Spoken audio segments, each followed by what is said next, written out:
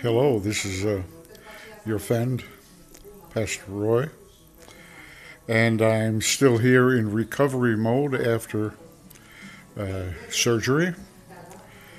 And um enjoying my quiet time and a lot of time for contemplation. Right now, I'm contemplating the uh, the death, life, and death of Stephen Hawking uh, a man of uh, a brilliant uh, scientific mind. Uh, as I understand, I have read some of his work. Uh, and also contemplating him as a philosopher.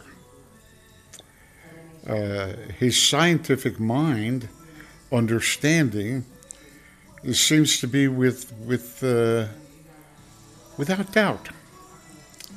However, his conclusions seem to be uh, pre programmed because of his worldview or his basic philo- philosophical outlook.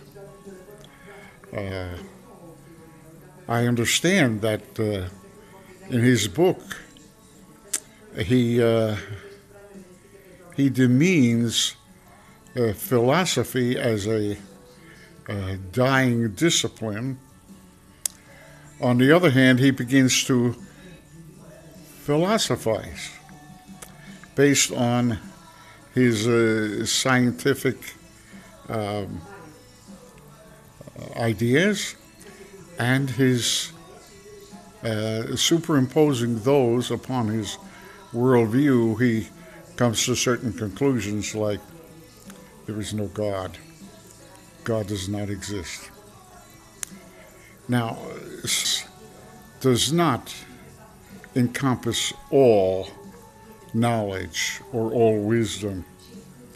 Science is a discipline uh, that's based on observation, measurements, and uh, calculations that endeavors to uh, help us to come to some conclusions, but uh, certainly does not include uh, psychology, philosophy, um, arts, music, and many other aspects of life. Love, uh, medicine, and uh, so it, it seems to me it would be kind of premature for anybody who is brilliant in one of those disciplines to extrapolate across all disciplines and come to the enormous conclusion that there is no God. Uh, agnosticism would probably be the the best that anybody could come up with that we're not sure or I don't know. But for those of us who are believers in Jesus Christ, number one, I'd like to say that my faith in Jesus Christ is not based on scientific evidence. But I sure like it when scientific evidence supports my faith in Jesus Christ. The encounter that I had as a young man in my freshman year in college uh, put my faith and said, it's not negotiable. I encountered someone whose reality supersedes every other reality. And uh, I will never put that up for negotiation. That's just uh, that's just part of who I am today. However, having said that, I did study uh, science and mathematics. I, I love the study of science. I enjoy it even to this day, especially going smaller and smaller into the DNA molecule and even the helix upon which the information in the DNA, molecule is um, impressed and then going out further and further and larger and larger into the cosmos, into the universe. Both extremes, further and further, larger and larger, and smaller and smaller and smaller, are absolutely mind boggling, incomprehensible, at least to this human mind, and it cries out and declares that there is God, there is a creator.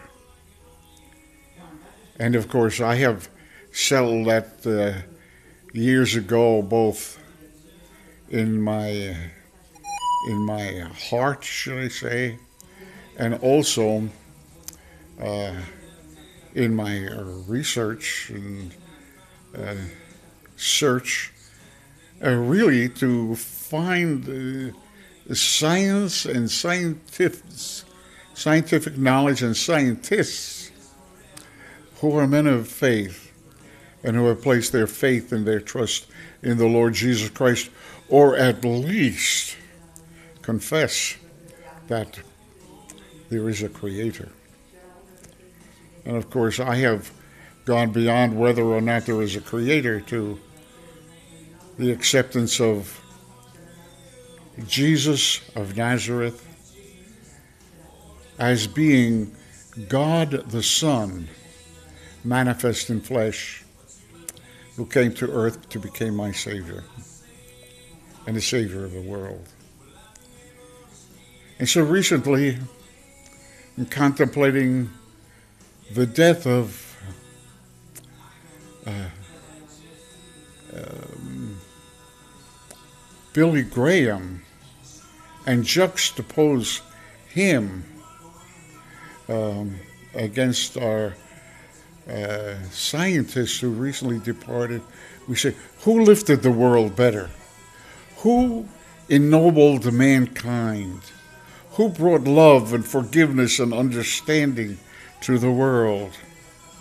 Who strengthened people? Who weakened them? Who fostered hope? Who fostered suicide?